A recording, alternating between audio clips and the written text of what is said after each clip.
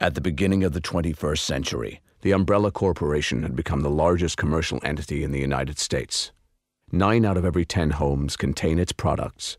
Its political and financial influence is felt everywhere.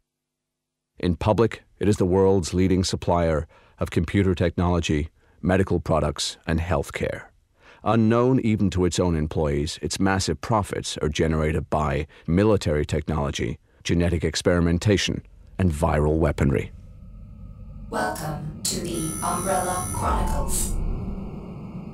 Biohazard. The outbreak occurred in the summer of 1998. It started in the American Midwestern town of Raccoon City and brought hell to earth.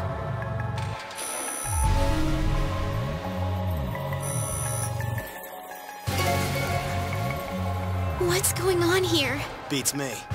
Never seen anything like this. The train. It's moving. Who's driving this thing?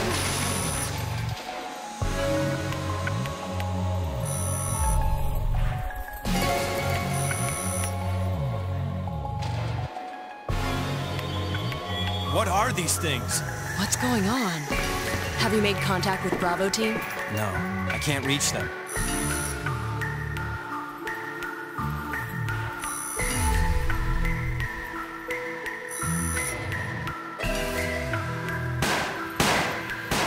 They've all been killed here too.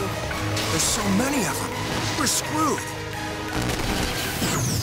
Due to the emergency condition, all data has been backed up to the Possible. UN. My shots are just bouncing off! Aim for the head! Here it comes! Leave it to me. Chris! Yeah, keep on it! I thought worms were supposed to squish. I'll bet it's not so hard inside. We have to keep going.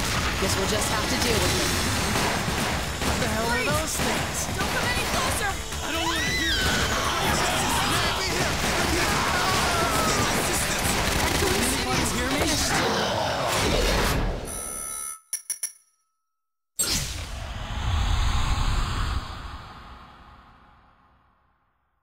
Wesker, Albert, I have taken it upon my authority to revoke your access privileges to the mainframe system. You will regret this, my lady. That, I promise.